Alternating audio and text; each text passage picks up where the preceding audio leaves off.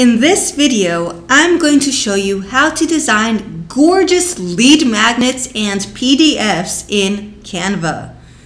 Canva is a great resource and has a number of templates that you can choose from to create different types of graphics such as blog post images, social media images, and logos. Today, we'll be focusing on how to create a PDF from scratch that can be transformed into a worksheet, checklist, or cheat sheet that you can send out as a lead magnet. And don't forget to subscribe and hit the bell to be notified every time we post a new video. Welcome to Yes to Tech where we empower non-techie online entrepreneurs like you to maximize your online presence. First of all, if you don't have an account with Canva yet, click the link below this video to create one. It's 100% free, so you have nothing to lose.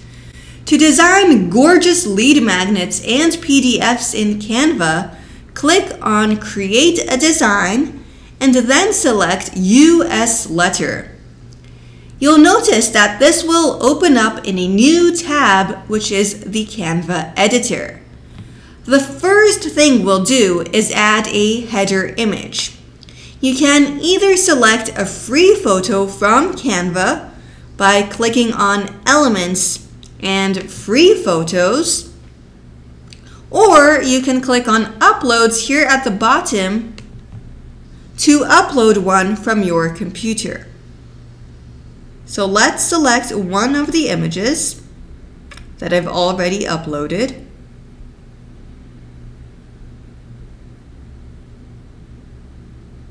Let's say this one over here. And all you have to do is click on it for it to be on your page. Now let's resize this image so that it only occupies the top fifth of the page. And let's also reduce its transparency by clicking on this button over here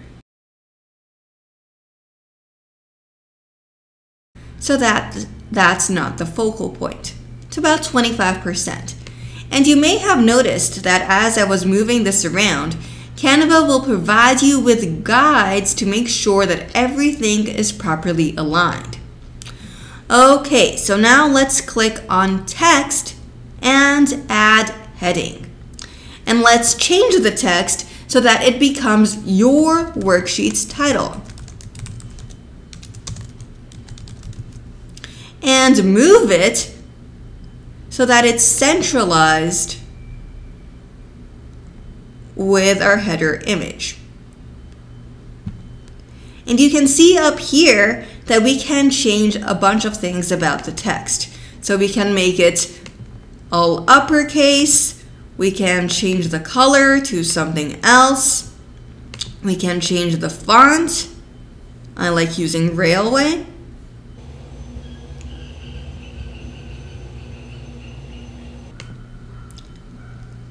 And if you so wish, you can also change the size. Now click on Add a little bit of body text. Align it to the left and change the text so that it fits with the subject of your worksheet.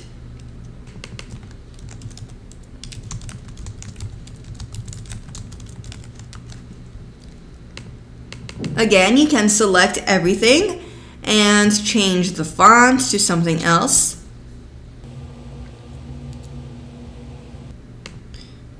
Make the size slightly bigger or smaller. Drag and drop it to be in the position that you wish. All right. Now, if you want to add an answer section to your PDF, where those who opt in can later fill out their answers to a particular question. Click on Elements on the left-hand side, Shapes, and select the first square on the left. Now let's resize it so that it's centralized and aligns with our text.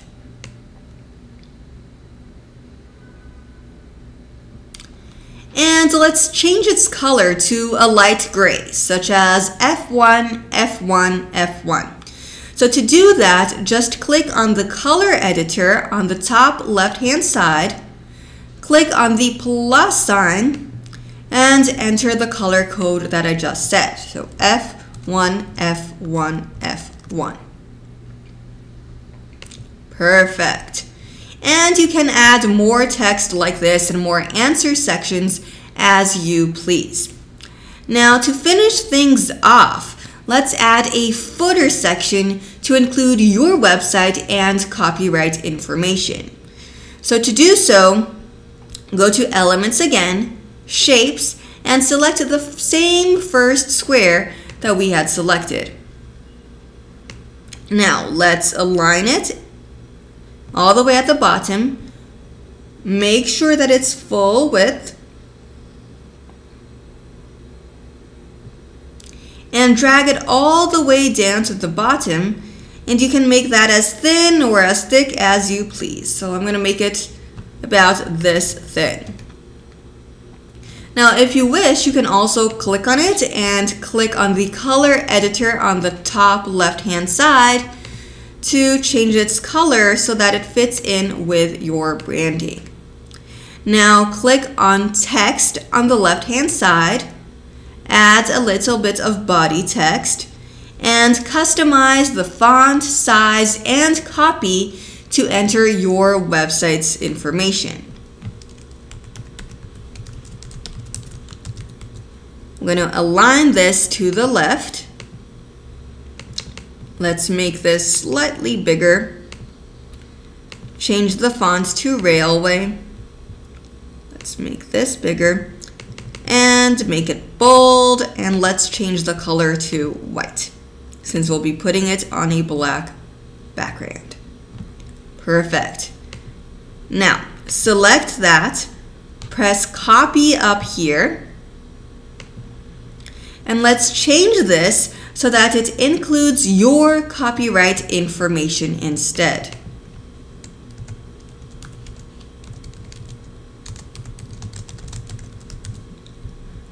Let's make this slightly bigger and let's align this to the right.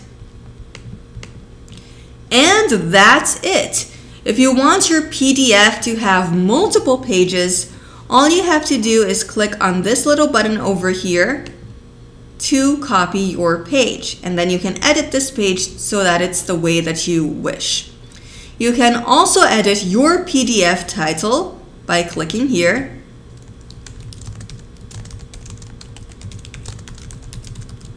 Then click on Done. And you can download it by clicking on Download and then Download again. And here's a pro tip. Keep this PDF over here that you just created as a template. This way, the next time you want to create a PDF, all you have to do is copy it. So let's go to all of our designs over here. Click on this arrow over here and click on make a copy and change the title and body text to fit in with the new worksheet, checklist, or cheat sheet that you wish to create.